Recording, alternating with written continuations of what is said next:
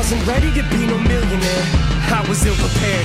I was prepared to be ill though. The skill was there. The beginning, it wasn't about the ends. It was about busting raps and standing for something. Fucking acronym. Cut the fucking act like you're happy. I'm fucking back again